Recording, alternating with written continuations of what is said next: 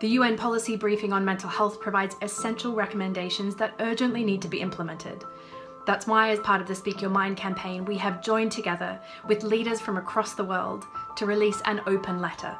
Together, we are calling on all world leaders to protect and scale mental health support within COVID 19 responses. If I'm not psychologically well, I won't be able to take care of my patient.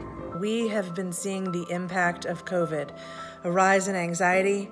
The quarantines have caused a rise in domestic violence and sexual abuse. With schools closed and sheltering in place, we have seen a significant increase in children calling helplines. The mental health response must be more robust, holistic, long term, and become a routine part of general global humanitarian disaster response.